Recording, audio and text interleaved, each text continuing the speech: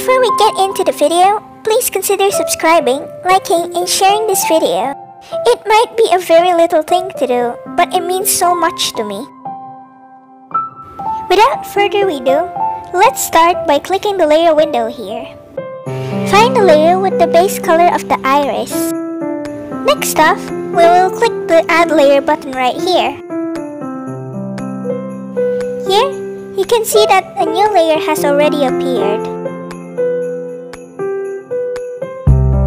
Next up, we will be clipping the new layer into the base color of the iris. After that, go to the bottom right of your screen and find normal. Then, click on it. Here, there will be a lot of blending mode to choose from. But we will choose multiply for the first step.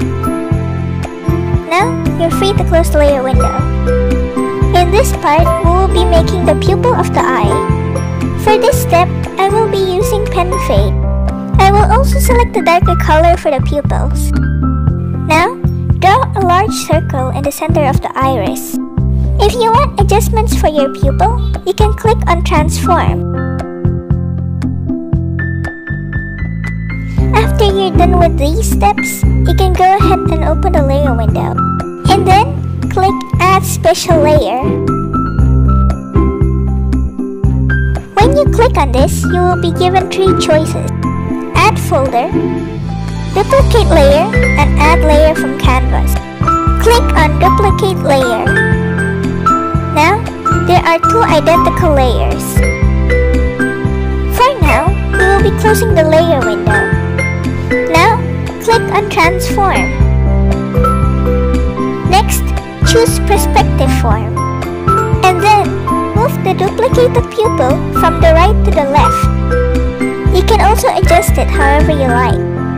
Next, we will be using the Magic Wand tool. Using the magic wand, we will select both pupils from both eyes. Next, we will be opening the layer window and click Add Layer. Next, click Clipping. Next, go to the button that says Normal. In the blending mode, we will be choosing Multiply again. Now, let's close the layer window and choose Airbrush. Then draw a circle around the pupil just like what I did here.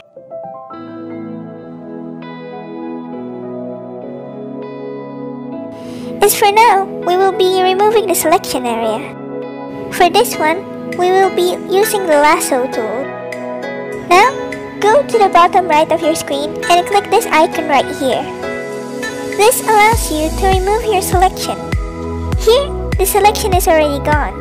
Alright, now let's open the layer window again. Let's merge these two down, shall we?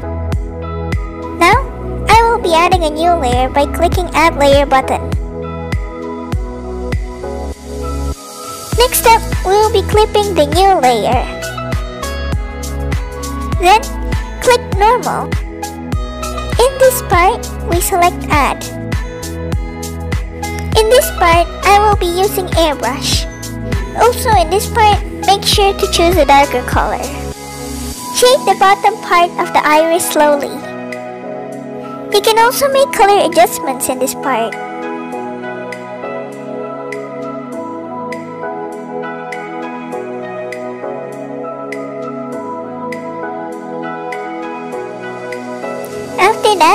Be opening the layer window again. And I will also add a new layer here. Next, we will be clipping again the new layer. Now, go to normal and select the blending mode multiply. Now, using airbrush, slowly start shading the top part of the iris. You can also adjust the colors however you like it. And for better results, you can choose a bigger airbrush size.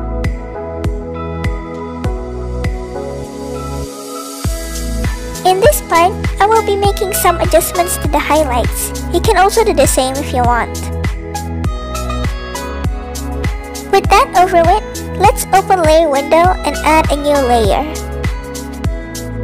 Now, we will be moving on to clipping the new layer. Now, as usual, click normal. We will be adding highlights, so choose add. After that, we can close the layer window. In this part, we'll be using a unique brush. It is the Neon 2 Add brush. And then on the color window, we will be using red. Now, we will be adding two dots on the top part of the iris. Add some adjustments if needed. Now, we will be adding more details to the eye. You can make some small dots and tiny lines on the eye.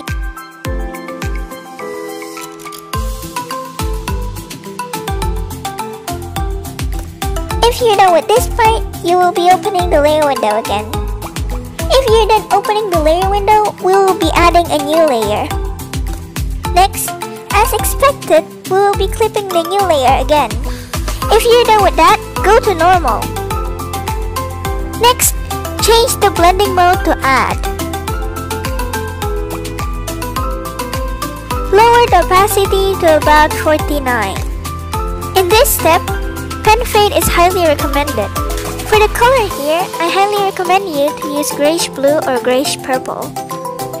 After choosing the color in the brush, we will shade the top part of the iris. As you can see, it creates a reflection effect on the eye. This is what makes the eye look 3D. However, there is another way to make it more 3D. We will add a new layer, clip it, multiply, and shade the edges of the iris just like this. Apply the same method for the other eye as well. By the way, in this part, I use round brush particle for the brush. For the next step, we will go to filter.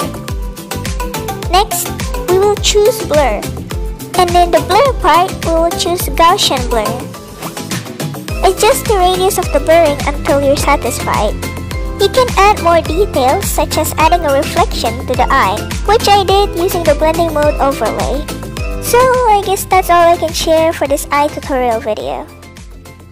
Thank you so much for watching and I hope you enjoyed today's video. Again, please do me a little favor by clicking that subscribe button and like this video. And also don't forget to share. It's a very simple thing to do, but it means so much to me. Aside from that, thank you and see you in the next video. Bye bye!